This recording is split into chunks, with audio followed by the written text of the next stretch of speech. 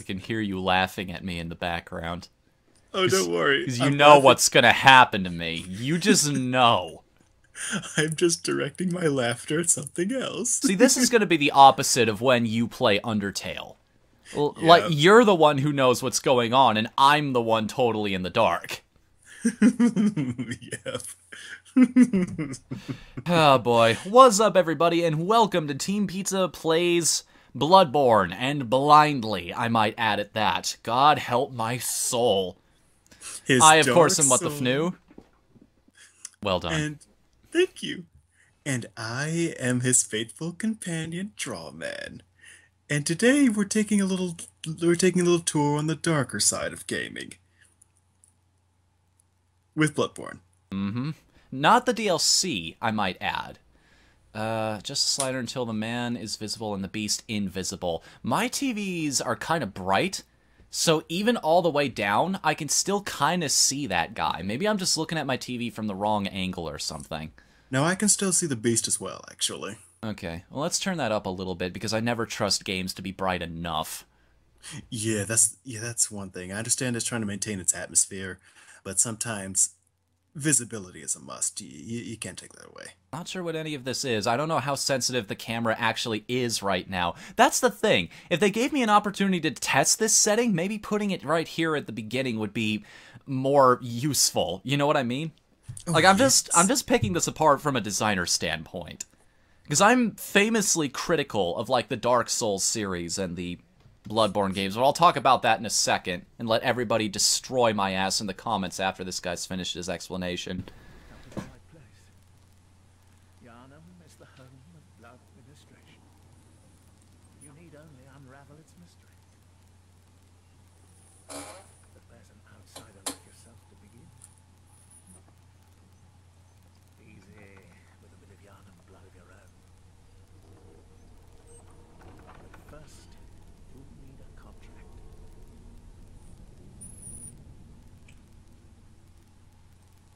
Okay, so this contract. Uh, the typical stuff, you know, name, age, um, where you're from, what you do. We're gonna need every single defining feature of your face.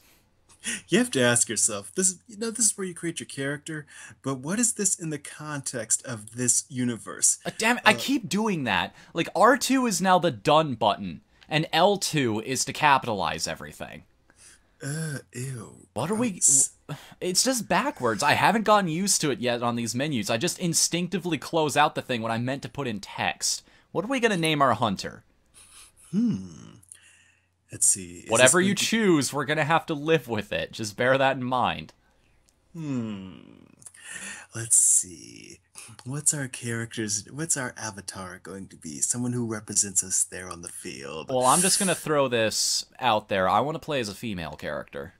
Yay! so That makes this that much easier. with that in mind, let's Ooh, what do we name call her. D- hmm. d- dir- Dirk, Dirk, Dirk, Dirk, Dirk, the hunter. Fear me, for I am the knight. Add in a dash between Dirk and Ip. Dirk.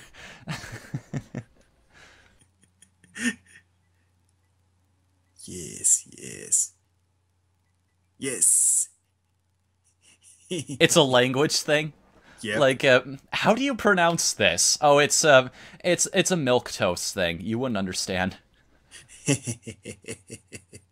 oh, ordinary, happy upbringing, all attributes average. That's our background. Lone survivor of lost Hamlet, high life essence and vigor. Hmm. Let's make her happy. Hold on a second. I want to check this. What do all these stats do? Oh yes. Um, yeah, what do all these stats do? Like some of them are self-explanatory because I've played games before, like um vitality, uh, I guess endurance would be defense.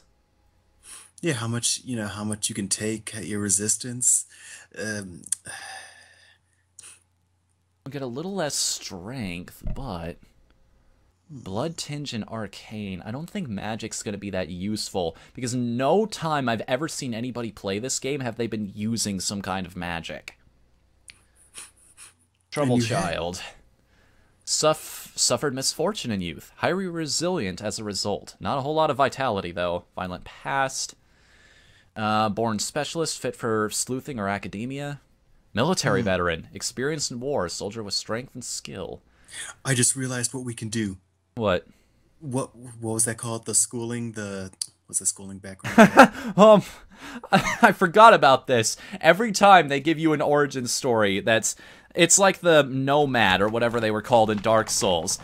Like it, where you just had nothing to begin with, not even armor or any specialties. Here, you can be a waste of skin. You are nothing, talentless. You shouldn't have been born. I know exactly we should make her. What? What's what's the one above military one it called again? Professional, born specialist, fit for sleuthing or academia. We should make her that and call her Charlotte. God damn it. Yeah, see? See? it just dawned on me the opportunity we should not miss here. All right. Is that the correct spelling, by the way? C H A R L O T T E? I will check that right now. Well, you do that. I'm going to screw around with the appearance settings. I don't want to spend too much time here, but. Go with a mature voice because while this is technically a Japanese game, I want it to be comfortable for all of my viewers. Oh no, don't make it comfortable. Hey, we can turn on big head mode. you really could make a chibi. A chibi. Head, chest.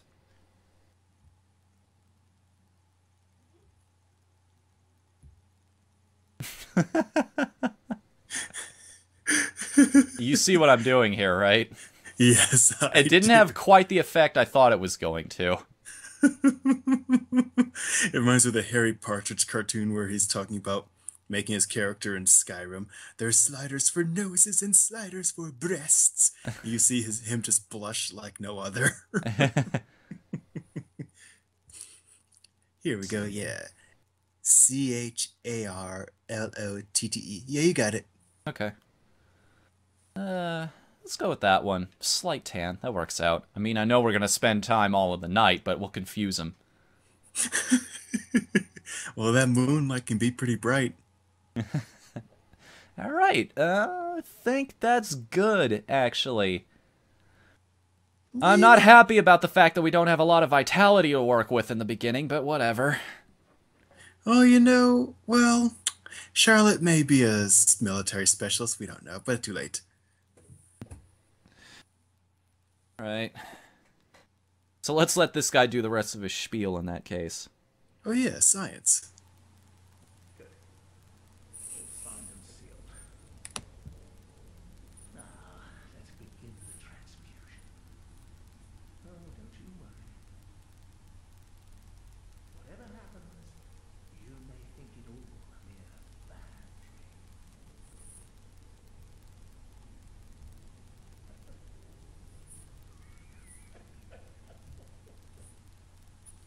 I caught that, by the way. Don't think I didn't.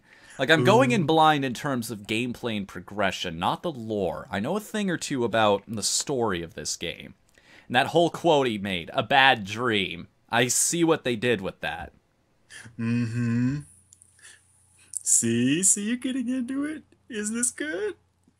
We'll see. Like, I'm a more gameplay focused individual than anything else. Well, let's look at Jacob from Twilight here. Okay, I'm just gonna be honest about this. Bloodborne is one of the, and just the Souls games in general, are the types of games that I love to watch other people play, but I've never had a taste for playing myself, honestly. Like, I'm fascinated by the world, I'm fascinated by the lore, and like most people, I see these guys who are inspired to create these magnificent things, these hour long videos just explaining every little detail and theorizing about what's actually going on and I'm like what am I missing here? I want to be a part of this. And then I start playing the game and I pick up the next game in the series thinking, "You know what? Maybe it'll work out well for this time." And then I start playing and I'm like, Is, uh, did I sell Animal Crossing Amiibo Party? Is that still on my shelf? Hand me fucking Hand me fucking Tony Hawk's Pro Skater 5. I'm, I'll play that. Just give me anything but this right now. You know, it reminds me of when Attack on Titan debuted. Well, not so much debuted, but was was dubbed over. Well, was serialized, and you could watch it on the internet. Let's just take a second to figure out what all my buttons do, shall we? Also, oh, wait a minute. Look at this cross chop. Look at the arm. Does it look to anybody else like that thing is stretching way farther than it should be? yes, it does. Like I'm kind of playing as Monkey D. Luffy right now. Yeah, you are Reed Richardson like no other. One. it reminds me of how in Kota Hirano's art style, people just become lanky the second they fight. Yeah, that arm is stretching. Okay, Well, now I'm dual wielding my fists apparently. Which reminds me, we, the producer and I were, were we we were talking about the rules of uh, Heroes Unlimited. It's a little tabletop RPG we all play, Okay. and so we were talking about the logistics of What's my you- dodge button here? Hang on a second. take your. I don't have a gun, it looks like. That's probably what that animation is all about. What's It's my dodge button? That's it. Okay. Circle. That's my get out of j- jail free card in most situations. Rough and tumble, rough and tumble. Come on, Charlotte, you can do it. Yeah, get him, girl. oh, this isn't foreboding at all. Nat, This Think is it- take a good look. This is the last time you will ever see the light. think of it this way: you are exiting the Scarlet Devil Mansion.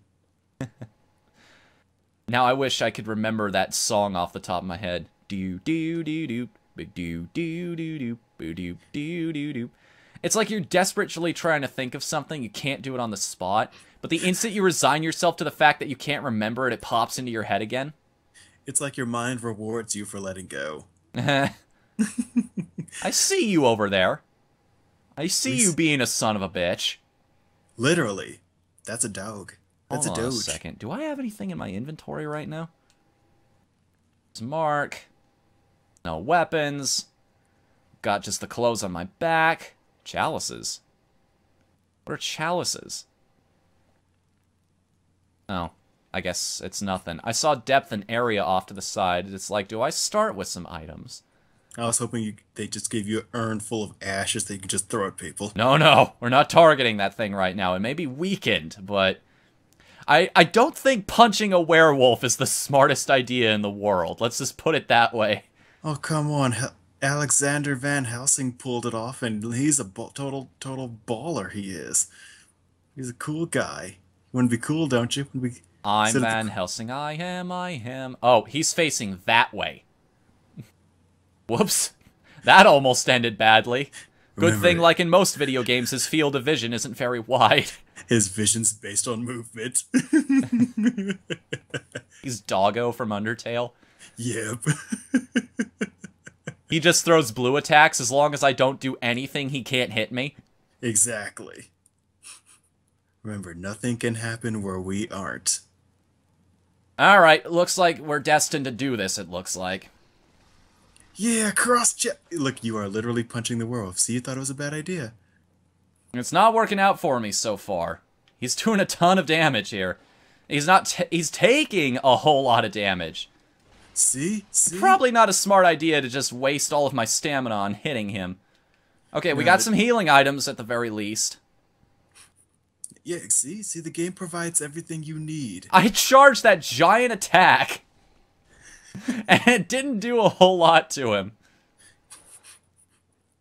See, uh, Come on, buddy. Throw an attack so I know I'm good. Smack him in the face! Ow. Well, that was unpleasant. Ooh, Yep, that's uh that's all my health bar gone. Uh-huh. Yep, yep, we, we gotta. Oh. Well, thanks for that, guys. Glad to know things haven't changed since the first Dark Souls. Well, that concludes our Bloodborne Let's Play. We We're made so you- much progression! I've got beef jerky, by the way. I got in my Christmas stocking, which sounds sad until you realize I love this stuff. I just got. I just got. no, I'm very paid from. You know where, where I want to fly?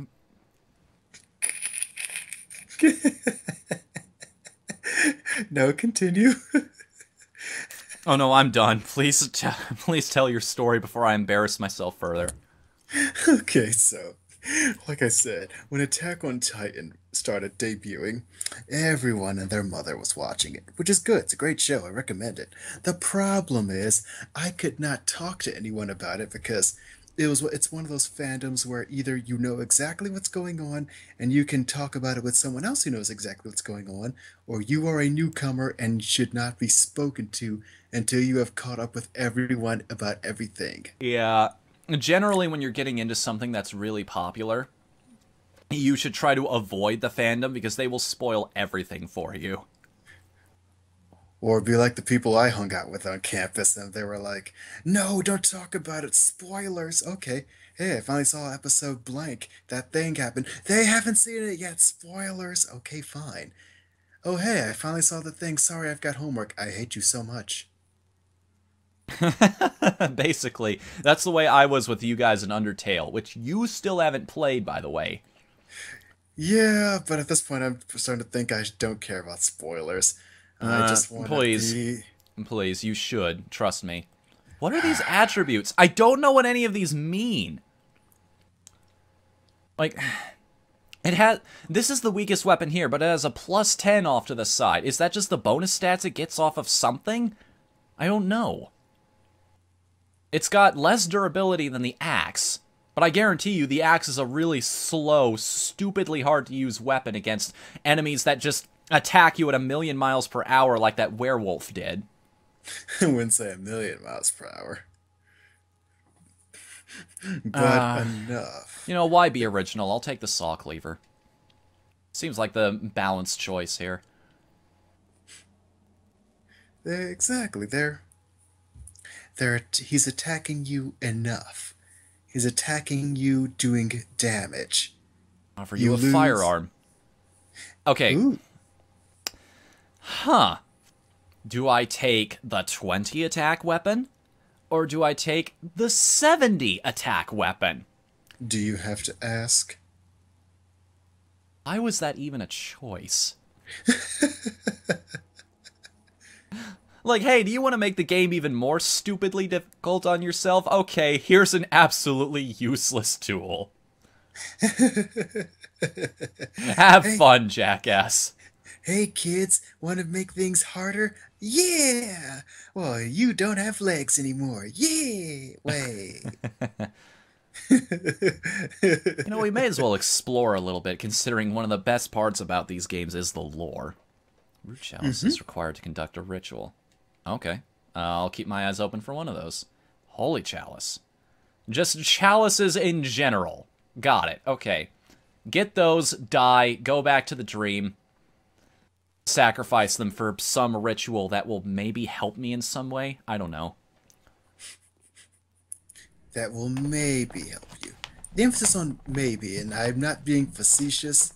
That is the environment of this game. Really? Uh, These rituals are a risk? I could lose stats instead of gain them or something? Oh no, I mean, no, no, not that way. I mean, so our viewers might know that this is a very Lovecraftian game, Mm-hmm.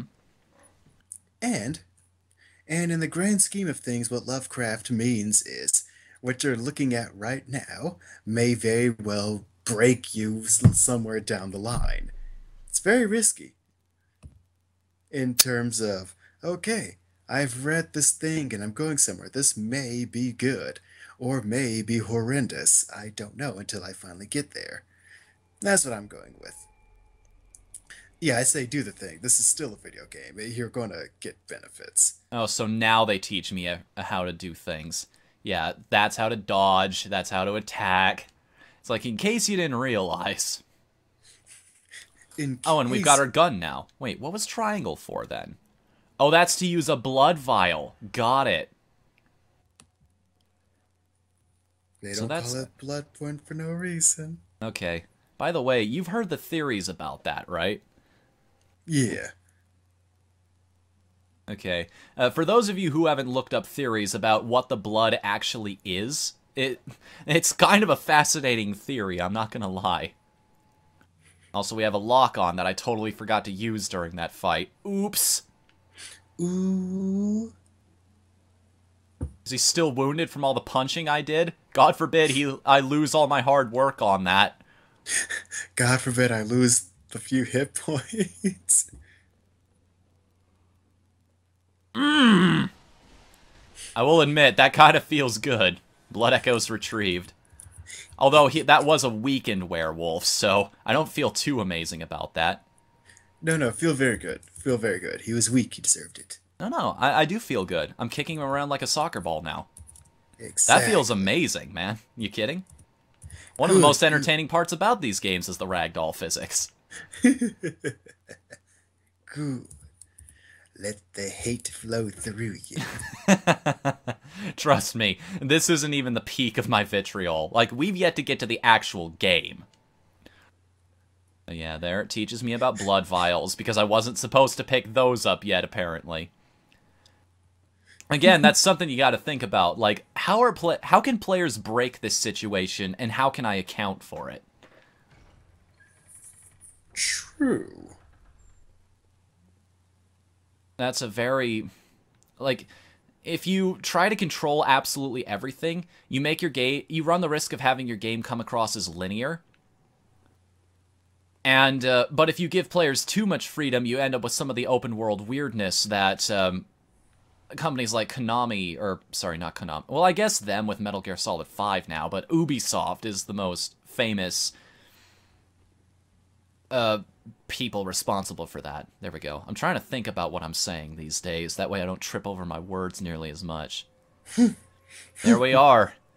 We've gotten past the tutorial and opened the door to a whole new world of horrors. What's awaiting us in the oft talked about world of Yharnam? Find out next time on Team Pizza Plays Bloodborne Blind. Until then, I'm What the Fnu, Oh yeah, I'm Draw Mann. How's the how about that? and we will see you again next time. Later, everybody. Later.